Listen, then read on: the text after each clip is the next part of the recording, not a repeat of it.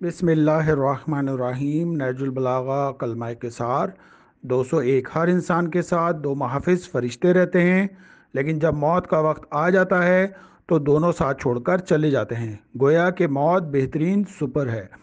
जिशान जवादी साहब, इसके एक फुट नोट में बयान करते हैं, परवरदिगार आलम ने हर इंसान पर दो फरिश्ते मुकर कर दिए हैं, जो इसकी ज़िंदगी में भी निगरानी करते हैं और इसके अमाल को भी महफूज करते रहते हैं। ये मुहाफ़ जो हैं, सिर्फ़ मुद्दत हयात तक, जब तक कि मुद्दत बाकी है, कोई इसे गज़न नहीं पहुँचा सकता। और जिस दिन ये मुद्दत तमाम हो जाएगी, इस दिन ये फरिश्ते भी तहफ़ का काम अंजाम ना देंगे और अपना दफ्तर अमाल बंद करके मालिक की बारगाह में पेश कर देंगे। रसूल वसल्लम फरमाते हैं, आखरत में सबसे पहले अदल कब्रें हैं, जिसमें अमीर और गरीब की कोई पहचान नहीं होगी। उसके बाद रसूलुल्लाह फरमाते हैं, मैंने जो भी भयानक मंज़र देखा, कब्र का मंज़र, इससे कहीं ज़्यादा भयानक है। परवरदिगार आलम, सूरह तौबा की आयत नंबर 84 में फरमाता ए रसूल, तुम इस मुनाफे की कब्र पर मत खड़े होना। यकीन जाने कि कब्र आखिरत की मंजिल में पहली मंजिल है। अगर इंसान इससे निजात पा गया तो इसके बाद तमाम मराइल इसके लिए आसान होंगे और अगर निजात ना पा सका तो इसके बाद के मराइल इससे कम नहीं होंगे।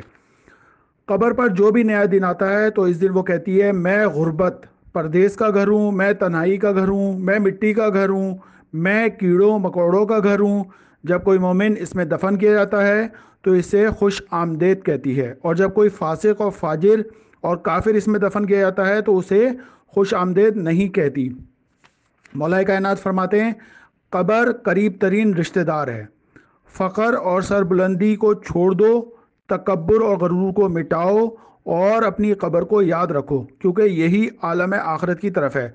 तुम्हारी गुजर गाह है। मौलाए कायनात इसके अंदर आगे फरमाते हैं कि याद रखो, सबसे पहला सवाल जो तुमसे किया जाएगा, तुम्हारे इस रब के मुतालिक, जिसकी तुम इबादत किया करते थे। तुम्हारे रसूल के बारे में होगा, जो तुम्हारी तरफ़ भेजे गए हैं। दीन के बारे में होगा, जिसकी तुम पाबंदी इख्तियार करते थे। किताब के बारे में होगा, जिसकी तुम तिलावत किया करते थे। और इमाम के बारे में होगा जिसकी विलायत को कबूल किए हुए थे। फिर तुम्हारी उम्र के बारे में सवाल होगा कि इसे कहाँ ख़त्म किया, माल के बारे में सवाल होगा कि कहाँ से कमाया था और कहाँ खर्च किया। लिहाजा अभी से इसकी तैयारी कर लो और अपने बारे में गौर व फ़िक्र से काम लेकर इम्तहान और सवाल और आजमाइश से, आजमाइश को पहले से जवाब को तैयार कर लो। जब मोमिन इस दुनिया से रुखसत होता है तो सत्तर हज़ार फरिश्ते कब्र तक इसकी मशाइत करते हैं। फिर जब इसे कब्र में दफन कर दिया जाता है तो मुनकर व नकीर, दो फरिश्ते इसके पास आकर इसे उठाकर बिठा देते हैं और इससे पूछते हैं, तेरा रब कौन है? तेरा दीन क्या है और तेरा नबी कौन है?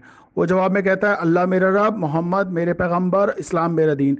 इस पर वो इसकी कब्र को इसकी निगाहों की हद तक कुशादा कर देते हैं, इसके पास खाना लेकर आते हैं और इसे फराखी और आराम पहुँचाते हैं। इमाम रज़ा ने अबी बिन, अभी हमज़ा की मौत के बारे में फरमाया कि इसे कब्र में उठाकर बिठाया गया और इसे कहा कि इसके बाद इससे सवाल किया गया कि तुम आयमा के बारे में। तो जब मेरे नाम पर पहुँचा तो सवाल करने पर इसने खामोशी इख्तियार कर ली, जिसकी वजह से इसके सर पर ऐसी ज़रब लगाई कि इसकी कब्र जो है वो आग से भर गई। जब बंदे को कब्र में दफन कर दिया जाता है और इसके साथ ही इससे जुदा होकर वापस जाने लगते हैं तो वो पलटते वक्त इनके जूतों की आवाज़ सुनता है। फिर इसके पास दो फरिश्ते आ जाते हैं और जो इसे उठाकर बिठा देते हैं और पूछते हैं, इस पैगंबर मोहम्मद वसल्लम के बारे में तुम क्या कहते हो? अगर वो मोमिन होता है तो कहता है, मैं गवाही देता हूँ कि वो अल्लाह का बंदा और उसके रसूल है। इसे इस पर कहा जाता है कि जहनुम में मुकर करदा अपने मुकाम को देखो जिससे अल्लाह ताला ने बहिश्त में तब्दील कर दिया। पैगंबर फरमाते हैं, इस पर वो दोनों मुकामों को देख लेता है। अगर वो काफिर या मुनाफिक होता है तो कहता है, मुझे मालूम नहीं, मैं तो इनके बारे में वही कुछ कहता हूँ जो दूसरे लोग कहा करते थे। वसल्लम की यह हदीस है। आगे इमाम फरमाते हैं, इमाम जाफ़र सदक मैय से कब्र में पाँच चीज़ों के बारे में पूछा जाएगा। नमाज़, ज़क़़त, हज, रोज़ा और हम अहल बैत से इसकी विलायत के बारे में। जिस पर कब्र के गोशे में मौजूद विलायत इन मस्कूरा चारों चीज़ों से कहेगी, तुम हट जाओ, मैं इसकी सारी कमी को पूरा कर दूँगा। लेकिन अगर कोई इंसान कोई सवाल का जवाब ना दे सका तो फिर क्या होगा कि उस सौ सौ साल लग जाएँगे उसको उस जवाब को देने में और जब तक उसको जो है वहाँ पे भुगतना पड़ेगी अपनी सज़ा। कब्र में सिर्फ़ खालिस अलमान या सिर्फ़ खालिस अलकुफर लोगों से सवाल किया जाएगा। इमाम से पूछा गया, बाकी लोगों का क्या होगा? उनसे कहा जाएगा, इनको अभी रहने दो।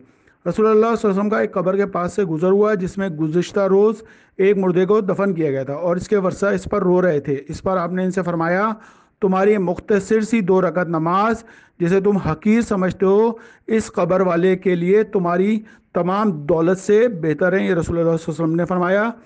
दुनिया में दो तरह के अमल करने वाले पाए जाते हैं। एक वो जो दुनिया में दुनिया ही के लिए काम करता है, और इसे दुनिया ने आखिरत से गाफिल बना दिया है। वो अपने बाद वालों के फ़ख्र से खौफजदा रहता है और अपने बारे में बिल्कुल मुतमिन रहता है।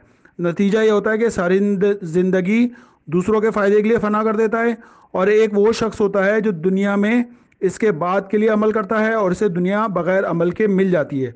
वो दुनिया और आखरत दोनों को पा लेता है और दोनों घरों का मालिक हो जाता है। खुदा की बारगाह में वो सुरखरू हो जाता है और किसी भी हाजत का सवाल करता है तो परवरदिगार इसे पूरा कर देता है। जिसकी मौत जल्दी आ जाती है, वो मोहलत का मुतालबा करता है और जिसे मोहलत मिल जाती है, वो क्या करता है? वो टाल मटोल का, टाल मटोल करता रहता है। इसके बाद मौलाए कायनात फरमाते हैं कि जो मौत को बराबर याद करता रहता है, वो दुनिया के मुख्तर हिस्से पर भी राज़ी हो जाता है। अल्लाह सल महमद महमद